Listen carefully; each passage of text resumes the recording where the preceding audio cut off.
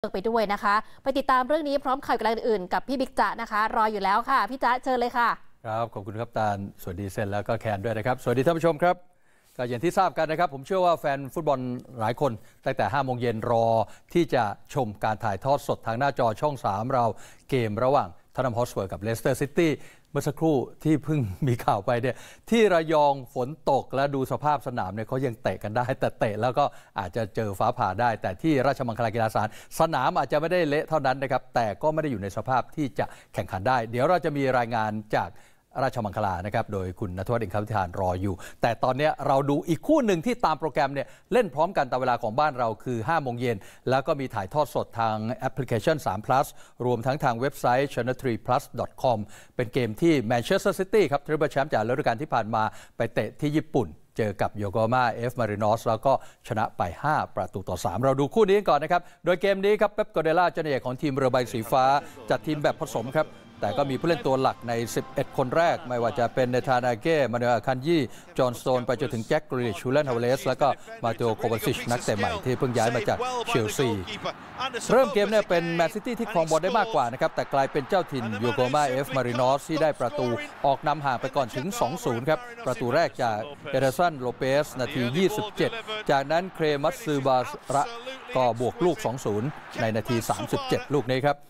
แต่หลังจากนั้นในช่วงท้ายครึ่งแรกครับแมนซิตี้ก็มาเร่งเครื่อง แล้วก็มาไล่ตามตีไข่แตกได้นาที 40 จากจอห์นสโตน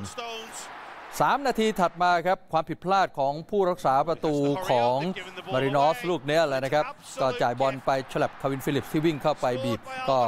ทำให้บอลมาเข้าทางของฮูเลียนอัลวาเรซ แล้วก็ยิงจ่อๆเข้าไปได้ง่ายๆ ครับ จบครึ่งแรกก็เลยเสมอกัน 2 ประตูต่อ 2 เข้าสู่ครึ่งหลังครับ เป๊ปก็เปลี่ยนผู้เล่นสำรองลงสนาม 10 คน ยกเว้นผู้รักษาประตูที่ไม่ได้เปลี่ยนคนเดียวนะครับรูเบนดิอาสฟิลโฟเดนโรดรีแบร์นาร์โดซิลวาและโดยเฉพาะอย่างยิ่งเออร์ลิงบราวท์ฮาลันด์ครับก็ลงสนามไป นาที12 ฮาลันด์ก็แผลงฤทธิ์เลยครับทำประตูให้แมนซิตี้พลิกนำเป็น 3 ประตูต่อ 2 จากจังหวะจับแล้วก็ยิงลูกนี้เข้าไปได้ นาที 72 ครับ แมนซิตี้หนีไปเป็น 4-2 โรดรีครับ จอมยิงไกลอยู่แล้วนะครับแปเน้นๆเสียบมุมประตูเข้าไปครับ ก็ทำให้แมนซิตี้นำห่างไปเป็น 4-2 โรดรีนี่คือคนทำประตูชัยให้แมนซิตี้ชนะอินเตอร์มิลานในรอบชิง ของยูฟ่าแชมเปี้ยนส์ลีกมาแล้วนะครับ แต่ก่อนหมดเวลา 4 นาทีครับ เกมยังไม่หมดความสนุกครับโยโกฮามาเอฟมารินอสไล่ตามมาเป็น 3 ประตูต่อ 4 จากเคนตะอิโนอุเอะ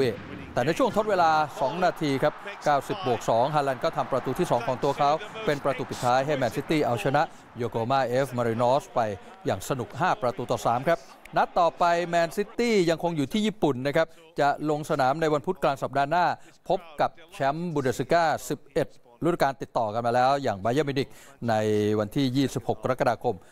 ช่อง 3 ของเราทาง 3 plus นะครับ ก็ถ่ายทอดสดให้ได้ชมนะครับ5โมงครึ่งนะครับ ในขณะที่อีกคู่หนึ่งอย่างที่ทราบกันนะครับน่าเสียดายนะครับที่เกมระหว่างทอตแนมฮอตสเปอร์กับเลสเตอร์ซิตี้ต้องยกเลิกการแข่งขัน เนื่องจากฝนตกลงมาอย่างหนักและตามโปรแกรมที่จะเล่นในเวลา 5 โมงฝนก็ยังโปรยๆลงมา แต่ที่สำคัญยิ่งกว่านั้นก็คือสภาพสนามเนี่ยมันไม่สามารถที่จะเล่นได้นะครับคือฟุตบอลเนี่ยจะเล่นได้ไม่ได้เนี่ยนะครับเจ้าหน้าที่ทีมเนี่ยเขาจะปล่อยบอลอย่างเนี้ยลงไปที่พื้น ถ้าบอลไม่เด้งขึ้นมา ถ้าบอลแปะติดอยู่ก็เล่นไม่ได้ ก็พยายามยื้ออยู่ พักใหญ่แล้วนะครับ สุดท้ายก็ต้องยกเลิกการแข่งขันไปติดตามเรื่องนี้กับคุณนัทวัฒน์อินควิธานกันครับก็ต้องบอกว่าวันนี้เหตุสุดวิสัยจริง ๆ นะครับทำให้การแข่งขันฟุตบอลนัดพิเศษ ระหว่างทอตแนมฮอตสเปอร์และเลสเตอร์ซิตี้ไม่สามารถลงแข่งขันได้นะครับ ฝนตกลงมาอย่างหนักก่อนเกมจะเริ่มขึ้นในวันนี้ครับ จริง ๆ แล้วเกมนี้ต้องคิกออฟในเวลา 17 นาฬิกานะครับ แต่เนื่องจากมีฝนตกลงมาอย่างหนักก่อนเกมจะเริ่มขึ้นทำให้พื้นสนามนี่เฉอะแฉะอย่างหนักเลยครับ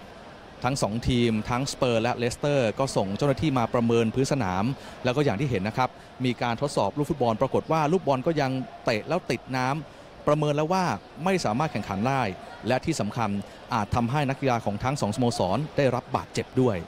ก็เป็นอันว่าหลังจากที่เกม delay ไปประมาณเกือบ 1 ชั่วโมงนะครับเจ้าหน้าที่และก็ฝ่ายจัดการแข่งขันประกาศให้ผู้ชมในสนามราชมังคลากีฬาสถาน ยกเลิกการแข่งขันแมตช์นี้ เนื่องด้วยสภาพอากาศและพื้นสนามไม่เป็นใจ อาจจะเกิดอันตรายต่อนักเตะทั้ง 2 ทีมได้ครับบรรดานักเตะสเปอร์แล้วก็เลสเตอร์ซิตี้ก็มาอำลาแฟน ๆ ที่มาที่ราชมังคลากีฬาสถานแห่งนี้นะครับ พวกเขาก็เสียดายครับที่ไม่ได้ลงเล่นที่ประเทศไทย โดยเฉพาะสเปอร์เองต้องรีบตัดสินใจนะครับ ก่อนหน้านี้ว่าจะยกเลิกหรือไม่ เพราะว่าวันนี้พวกเขาจะต้องเดินทางต่อไปที่ประเทศสิงคโปร์ ไปอุ่นเครื่องกับ Lion City Sailors ในวันพุธที่จะถึงนี้ ทำให้สุดท้ายแล้วก็ต้องยกเลิกแมตช์นี้ไปครับ เราไปฟังความรู้สึกของทั้งแฟนท็อตแนมฮอตสเปอร์และเลสเตอร์ซิตี้หน่อย พวกเขาพูดถึงแมตช์นี้อย่างไรนะครับ คือเราแล้วแบบทุกคนก็แบบน่าจะเสียดายอะค่ะ เพราะว่าก็ตั้งใจมาดูเนอะแบบอุตส่าห์ฝ่าฝนมาอะไรอย่างนี้ แต่ว่าก็เข้าใจเหตุผลที่เขายกเลิก ก็คงแบบต้อง concern เรื่องของแบบเจ็บอะไรอย่างนี้ถ้าเกิดว่ามันลื่นเกินไป ใช่เพราะว่าถ้าเกิดมีการบาดเจ็บอะไรอย่างเงี้ยก็ต้องเข้าใจว่ามันก็คงไม่คุ้มกันนะคะ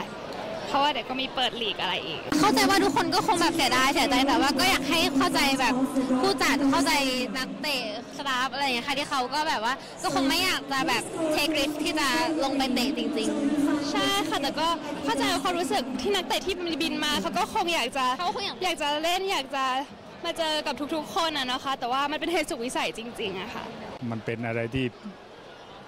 มีความรู้สึกผิดหวังอะผิดหวัง มันไม่น่าไม่ไม่น่าที่จะเกิดแบบนี้เป็นเรื่องของธรรมชาติใช่ครับ ซึ่งปกติเราไม่ค่อยเห็นเหตุการณ์แบบนี้ด้วยไม่ผมใช่ใช่ใช่คือฟุตบอลเนี่ยถ้ามันตกก่อนยังไม่เริ่มเนี่ยเขาจะไม่เริ่มให้ แต่ถ้าเริ่มไปแล้วตกเนี่ยยังไงต้องจบนี่คือกติกาฟุตบอล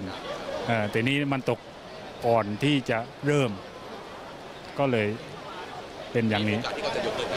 ใช่ใช่ครับเอาครับก็ถือว่าน่าเสียดายนะครับ แต่ด้วยเหตุสุดวิสัยทางสภาพอากาศทำให้ท็อตแนมฮอตสเปอร์และเลสเตอร์ซิตี้นั้น ต้องยกเลิกการอุ่นเครื่องที่ประเทศไทยไป อย่างไรก็ตามครับสำหรับคอบอลนะครับ ก่อนที่ลีกในยุโรปจะเปิดฤดูกาลสามารถติดตามรับชมการถ่ายทอดสดของช่อง 3 เรานะครับ ผ่านเว็บไซต์ ch3plus.com วันพุธนี้นะครับ ก็จะมีแมนยูเจอกับเร็กซ์แฮมตั้งแต่เช้าเลย9นาฬิกา30 นาทีบาเยิร์นมิวนิกเจอกับทางด้านแมนเชสเตอร์ซิตี้17นาฬิกา30 นาที รวมถึงท็อตแนมฮอตสเปอร์จะอุ่นเครื่องกับ Lion City Sailor ที่ประเทศสิงคโปร์เวลา 18นาฬิกา30 นาที ก็ชมถ่ายทอดสดกันได้ครับกองฤทธิ์รัตนโยธินถ่ายภาพนัทวัฒน์อินทวิธาน รายงานจากราชมังคลากีฬาสถานครับ หลายๆคนก็อดสงสัยไม่ได้นะครับ แฟนบอลที่ไป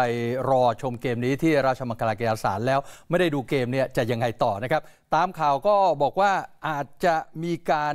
รอ refund หมายถึงว่าคืนตั๋วคืนเงิน ก็ยังไงคงจะต้องติดตามจากฝ่ายจัดการแข่งขัน แล้วก็ผู้ที่จำหน่ายบัตรคือ Ticketmelon นะครับ ก็หวังว่าคนที่เตรียมไปดูเสียเงินไปแล้ว จะได้เงิน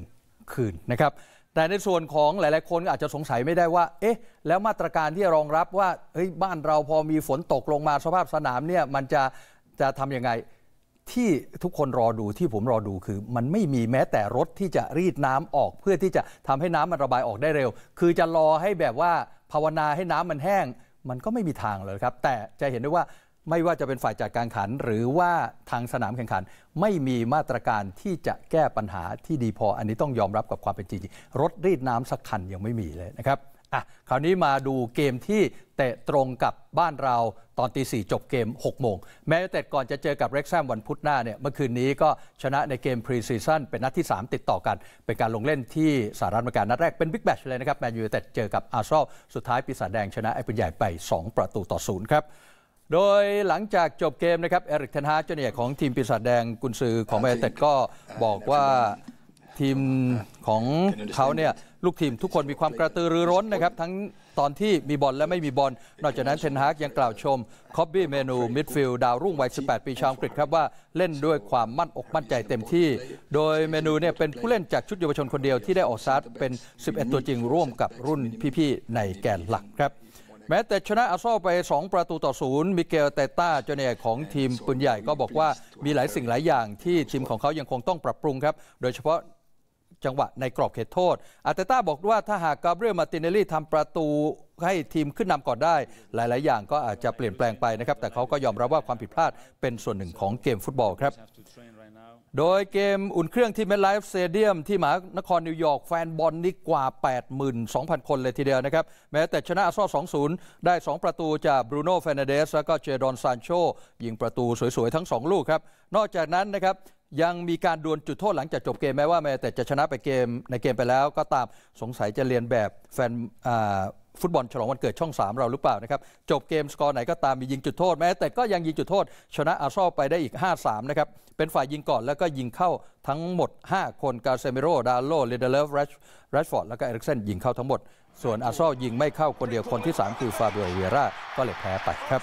สำหรับแมนเต็ดนะครับคว้าชัยชนะในเกมอุ่นเครื่องพรีซีซั่น3 นัดติดต่อกันแล้วครับ โดยที่ยังไม่เสียประตูเลยทั้ง 3 นัดนะครับ ชนะลีดส์2-0 ชนะลียง 1-0 แล้วก็ชนะอาร์เซนอลก็ 2-0 ครับก็ขนผู้เล่นชุดใหญ่ไปทัวร์สหรัฐอเมริกา นี่เป็นการลงเล่นที่อเมริกาเป็นนัดแรกนะครับแรชฟอร์ด บรูโน่ซานโชกาเซมิโรลิซานโดมาติเนส รวมถึงนักเตะตัวใหม่อย่างเมสันเมาท์ครับ นัดต่อไปก็จะเจอเร็กแซมอย่างที่ได้บอกนะครับทีมในลีกทูของอังกฤษโดยเร็กแซมเนี่ยมี 2 นักแสดงฮอลลีวูดเป็นเจ้าของทีมคือไรอันเรย์โนลด์สและก็ร็อบแม็กเออร์เฮนนีครับ โดยอองเดรโอนาน่านายทวารคนใหม่ของทีมก็เดินทางไปสมทบกับทีมแล้วเมื่อคืนไม่ได้ลง3อาจจะลงพบกับเร็กแซมแหละครับ โดยเว็บไซต์ channel3plus.com และแอปพลิเคชัน3 plus จะถ่ายทอดสดคู่แมนยูเต็ดพบเร็กแซมให้แฟน ๆ ได้ชมกันนะครับ เช้าวันพุธ 26 กรกฎาคมครับ เริ่มเกม 9 โมงครึ่งตามเวลาของบ้านเราครับ จากนั้นเย็นวันพุธดูกันอีก 2 คู่เลยนะครับ5โมงครึ่งครับแมนซิตี้หลังจากถล่มโยโกฮามาเอฟมารินอสจะพบกับบาเย r n นมิวนิกและอีกคู่หนึ่งสเปอร์จะเจอกับไลออนซิตี้เซเลอร์สที่สิงคโปร์นะครับคู่แมนซิตี้บาเย r n น5โมงครึ่งบ้านเราคู่ สเปอร์เจอไลออนซิตี้เซเลอร์6โมงครึ่งนะครับ ก็ติดตามชมกันได้ครับนะครับ ทั้งหมดนี้คือเจาะกีฬากับพิจ้าครับ ส่งกลับให้กับสองสาวหนึ่งหนุ่มเลยนะครับ ผมลาเลย สวัสดีครับ ค่ะ ขอบคุณพิจ๊ะค่ะค่ะ